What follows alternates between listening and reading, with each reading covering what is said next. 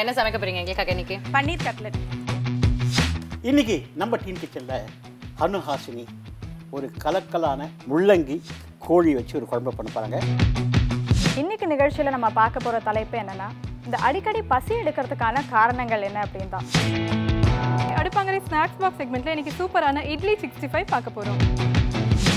அடுப்பங்கரை இன்று மாலை நான்கு முப்பது மணிக்கு